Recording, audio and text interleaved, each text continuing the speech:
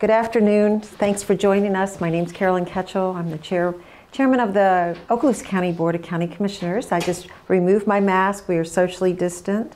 And uh, I wanted to give you some updates. We're really excited about unfolding uh, things with vaccines because vaccines are part of the way that we're getting out of this mess with this COVID. Uh, I really believe in vaccines. I have now had my vaccine.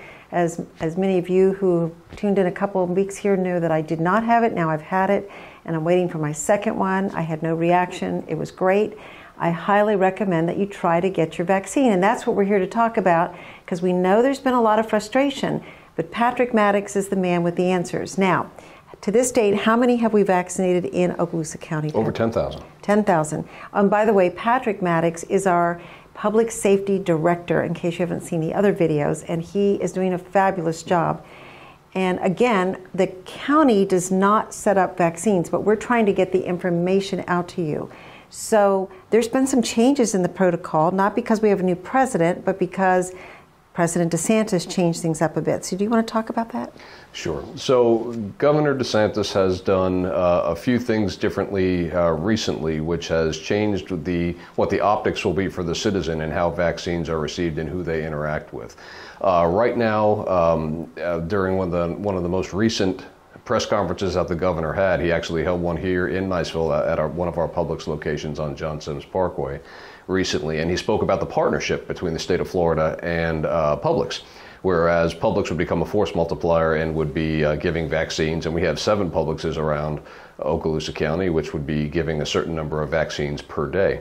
Uh, what has changed recently is that the number of vaccines that are allocated to the county um, Publix will get their number of vaccines off the top of that number. So what that means is that there will be some more vaccine being transferred to Publix and a little bit less vaccine at the county health department. So not less for the county, just allocated differently. So what that does is it allows the widely dispersed Publix locations throughout the county to deliver that vaccine to the public and we will still be able to do vaccine pods at the county health departments, although there may be fewer of them. So, uh, from what I'm understanding at the moment, the county uh, health departments will still receive between 900 and 1,000 uh, vaccine doses per week which would allow um, one or two large pods uh, to be done per week, and the remainder of the vaccines per week would be handled by the various Publix locations.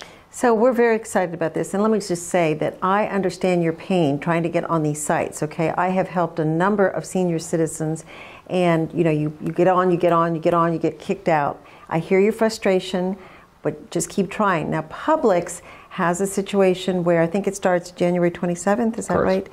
You get on like 10 minutes of five or five minutes of five, or how does that work? So the way that that works now is Publix has their own registration portal. It is not the same portal that you would go to on the county website to register for the Department of Health's uh, vaccination pods. You would go onto the Publix registration portal, and we can put that uh, link on the screen for you. And uh, that time is six o'clock Eastern, five o'clock Central that the registration portal will open on the 27th, this coming Wednesday, uh, for the upcoming bank of pods that they will have available. So we know that um, vaccination is one way that people are going to get through this. Uh, we also know that if you've had COVID, that confers some immunity. We don't know how long. But if you've already had your vaccine and you've got a senior citizen that you know, somebody over 65, try to help them. Try to help them get on one of the various sites, either the health department, DOH, or Publix, or anything else that we can suggest at this time? Um, I know that uh, Dr. Anastasio was still being transferred some doses of vaccine, so his website, which we can also put up on the link, is the Emerald Coast Infectious Disease Clinic on Marwalt. Yes. But and you go on there. I do know about that one. You fill out the application, and then in several days they will text or call you to give you an appointment time. So, but I know last week he ran out of vaccine, so I guess he's getting additional. We would hope that's the case, uh, and that relationship is maintained between the Department of Health and Dr. Anastasio. So, if they have enough vaccine to transfer based on their allocation, then that will continue. Our president has vowed to vaccinate what is it, 100? Does anybody know 100? I don't remember the numbers. 100 million in 100 days or something. So we expect to be getting plenty of vaccine here. So please don't panic if you can't get through. But if you have a lot of issues, try to get somebody that you know is tech savvy, a younger person, somebody that might know how to use your computer. that would probably be the easiest thing. I have tried to help many senior citizens. Patrick knows that. Certainly. I've been on the uh, computer a good bit with it. So try to get somebody that knows how to do it, that can help you work through the process. Please don't panic and don't get frustrated and don't send me an angry email. I've gotten those too. There's nothing I can do. I'm doing the same thing you're doing. I'm trying to help people access the website.